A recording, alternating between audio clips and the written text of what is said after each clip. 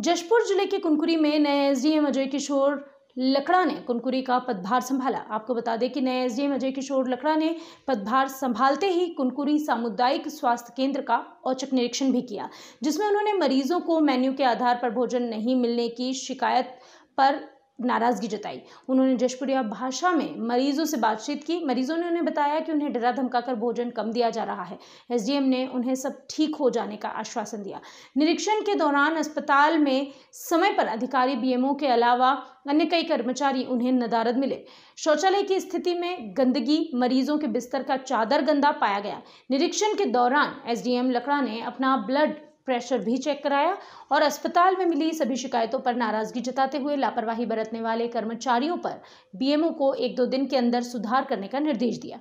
इसके बाद एसडीएम ने शिक्षा विभाग कार्यालय में जाकर देखा तो वहाँ चार कर्मचारी अनुपस्थित मिले तथा जनपद पंचायत कार्यालय का निरीक्षण किया। वहाँ भी तीन कर्मचारी अनुपस्थित पाए गए।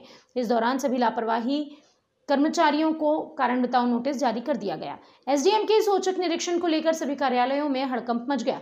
निरीक्षण में राजस्व विभाग से तहसीलदार प्रमोद चंद्रवंशी, नगर पंचायत अधिकारी सीएमओ पुष्पा खलखो समेत राजस्व अमला मौजूद रहा। आज आप ये सरकारी हॉस्पिटल में जो औचक निरीक्षण किया, क्या पाया इसमें आप? यहाँ पे हम अपनी टीम के साथ मेरे साथ में सीएमओ मेरे साथ में तहसीलदार और डीएमओ के साथ में हम अचानक यहाँ पे आए आकस्मिक निरीक्षण के लिए। प्रातः नौ बजे हम यहाँ पे देखने पे ये पता चला कि कुछ कर्मचारी यहाँ पे विलम्ब से पहुँचे हैं। आप अस्पताल की व्यवस्था यूँ तो अ, मतलब काफ़ी हद तक सही पाई गई। कुछ कुछ कमियाँ रहीं उन कमियों को हम बीएमओ को दुरुस्त करने के लिए निर्देशित किए हैं और एक एक या दो दिन के भीतर बिल्कुल पूरी व्यवस्था दुरुस्त कर लेंगे। क्या कुछ शिकायतें मिली आपको? और शिकायत तो में थोड़ी सी जो मरीजों को जो भोजन मिलता है भोजन थोड़ा सा गुणवत्ता विहीन है और कभी कभी किसी को कम हो जाता है इस तरह की बातें आई हैं तो इन बातों को हम सुधार लेंगे सामुदायिक स्वास्थ्य केंद्र कुलपुरी में एसडीएम सर के द्वारा निरीक्षण किया गया। जिसमें कुछ सर के द्वारा सजेस्ट किया गया कि हॉस्पिटल की साफ़ सफ़ाई पे ज़्यादा ध्यान देना है, जो कि हम एक दो दिन में दुरुस्त कर देंगे।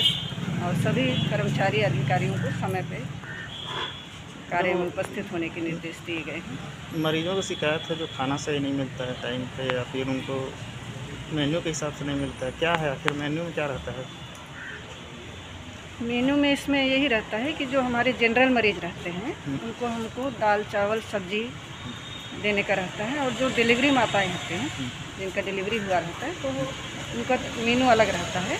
उनको कम से कम अंडा फल दाल वगैरह भरपूर मात्रा में दे जिससे कि जो शिशुवती माता है उनका और बच्चे का भी स्वास्थ्य सही रहे। तो अंडा उंडा तो नहीं देते हैं बता रहे हैं। नहीं शिशुवती को देते हैं जनरल मरीज़ के लिए नहीं है वो। चलिए।